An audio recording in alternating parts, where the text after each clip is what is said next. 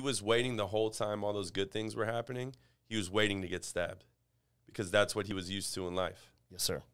And you know what? That's funny because that is definitely something that as I get to know myself more, I've become better at that because I was very much like that probably in my early 20s. You know, all these good things are happening. Like, hold on, what's the real reason behind these good things? Does Akash really love me? Exactly. And I mean, like, and I it- did. and you did because you got it. You got a pure energy, like you were talking about. But without knowing yourself, without being spiritually in touch, you can't separate.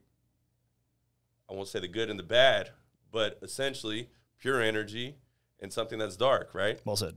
So when that comes, it it, it might be it, you might have no ill will, that's what he saw, and he was waiting for it from the time he shook your hand. He was waiting for that. Big facts. Yep.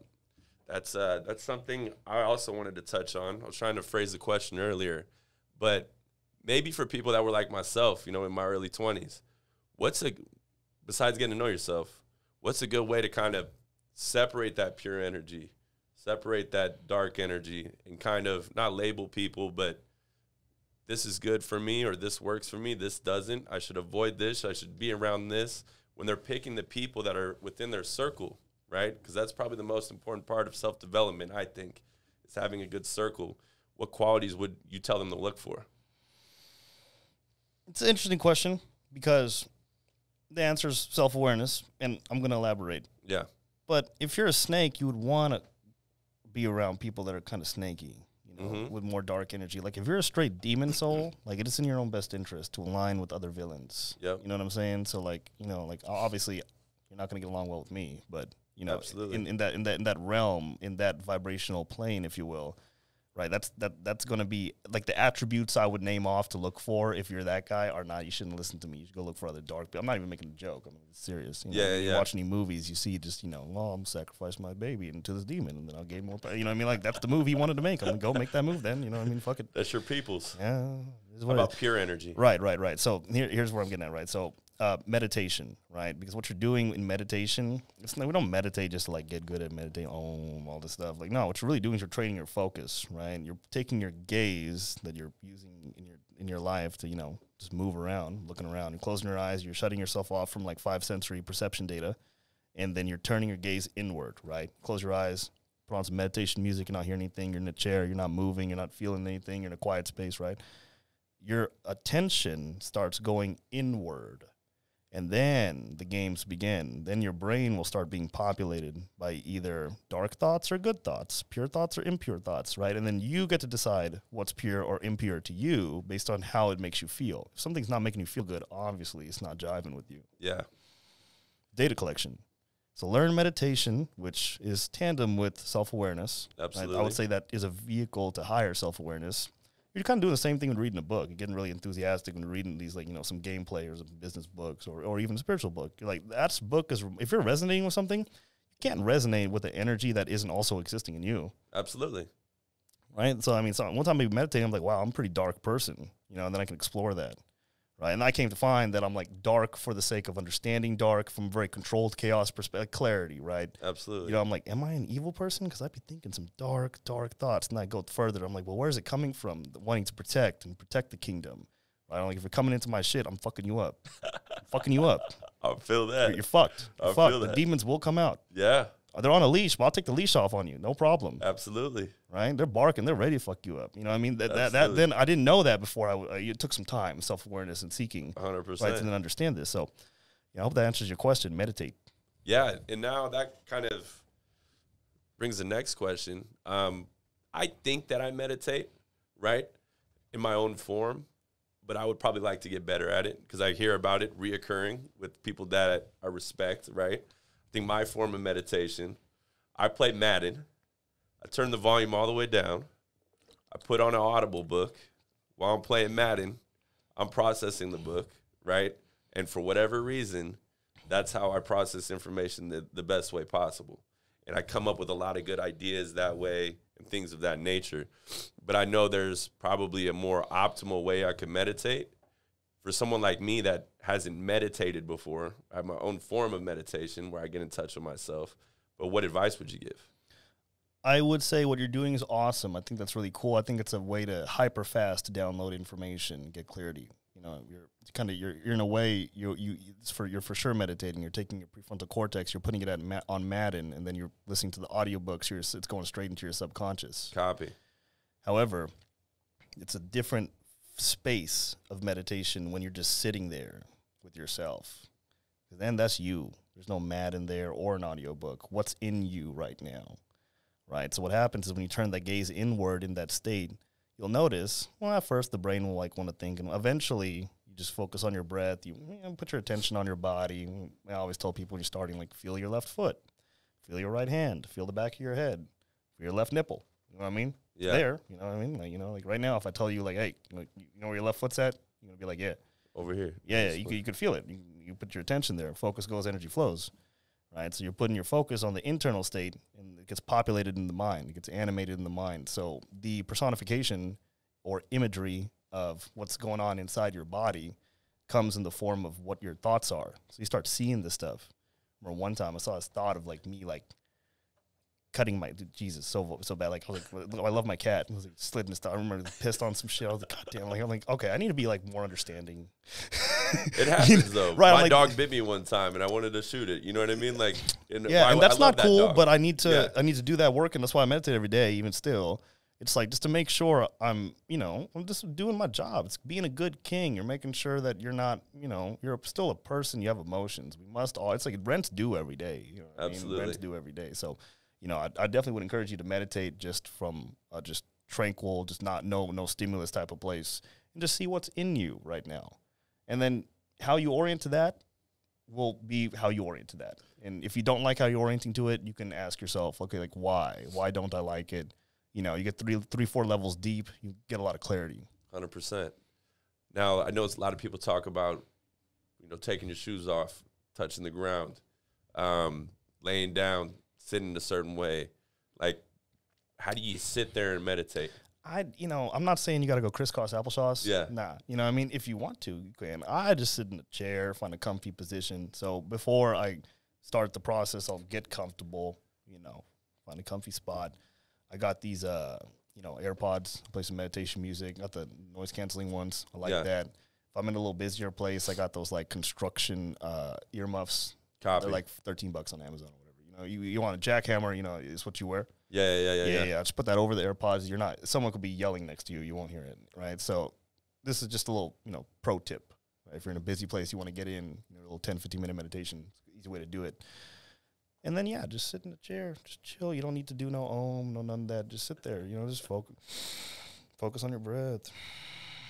Move your energy around your body. You know, you'll do do do all your fingers. Uh, my pinky finger, you know, ring finger, index finger, all the stuff. You know, middle finger. You know, they do the other fingers. You know, I mean, the more you do that, like I mean, I could feel my own organs. Really? Facts. Wow. But I mean, I also meditating for like four or five years Yeah, yeah. regularly. That's pretty awesome. Right. And you so, can can you like move them, or do you just you um, know the state of them, or like I could slow my heart rate down. Yeah. that's trippy. That's complete mind control of your body. Yeah. That's pretty awesome. And now let me ask you this: Did you did you grow up religious? My family was uh, grew up uh, Sikhi. Sikh. Okay. Um, people know uh, Hinduism, Hinduism, Islam, and Sikhism are the most prevalent religions in, in India. So they were they were Sikhi. Um, I was always like at church because you know families there. You know, 100%. seemed like the thing to do. I wouldn't call myself particularly religious. I did believe in God for sure. Always believed in God. I always knew there was God, but I wasn't particularly religious. No. I think I'm a, yeah comparable. Grew up Catholic. Always believed in God. Some practices within Catholicism didn't connect me to what I considered God. A certain energy within myself. You know what I mean? Um, was meditation part of growing up for you? No, no, but I did always see my grandfather do bod, which is basically prayer for like two hours. I always respected it. I was like, like to watch him do it day in day out, like four in the morning, and at uh, six to seven o'clock at night. He would just always do that. I always respected it. You know, I, I for me too. I agree with you. It wasn't like the the modality of the religion just didn't resonate with me. I'm like, it doesn't seem right. Yeah, yeah, yeah. I would go to the the church, you know, uh, our our temple, and I look at the uh, the priests, if you will. I'm like, I don't, I don't, I don't, I didn't feel right looking at it. I'm like, mm, I'm like, Something wrong. something, yeah. I was like, "Ah, do you really believe what you're saying right now? You know what I mean? Like, I, Copy. as a little kid, you know, you can just tell when someone believes what they're saying. Hundred percent. And this, that kind of turned me off from the whole thing. But then, you know, I believe at the highest level of every religion is a very deep spiritual knowing. And then I saw my grandfather always embody that. So I was like, that must be something here. Just maybe not that guy. But I didn't feel any need to go down my religious path for my home religion. I think there's there's something to say about growing up in a church though, because there was certain practices within that church that I did resonate with, right? Like for me, I can't go to a Christian church because it's it, like Catholic. I compare it to going to court. You know what I mean? Everybody's super quiet. There's a certain way. There's a certain cadence with everything, and in that in that format, I'm able to, I think, get in touch with myself and the Lord and everything of that nature. Now, Christians, not all Christians, but you know, some Christian churches are more, um, you know, like uh, outward, very loud. Uh, music is involved, and I think one thing that I learned through watching all religions is whatever you got to do to get to that kind of space where you're in connection. I'm all about it. Oh, I love that. That's, I, I mean, your grandpa worked for him, right? Right, it, it did, it did, it did. You know, and there's many paths up the mountain, right? It goes back to that. Yeah, many paths up the mountain. Which one's you know uh, going to match you the best? All 100%. we are all different, you know. Uh, Because I brought I brought my friend to Catholic church, and I think he fell asleep like four times. right, right, right, right. You know, He wasn't connected. Yeah, uh, yeah, yeah, yeah. And I'm like a big fan, of like you know, gospel and you know, singing and stuff like this. Is I think that's cool. You know, what I mean, some people may not, it might not be their cup of tea. It's fine. you know. Absolutely, absolutely, absolutely. Well, we're gonna take a little break. Um, after we come back from the break, we're gonna touch on a few more uh, topics. I love what we're doing so far. Uh, we will be back soon. All right.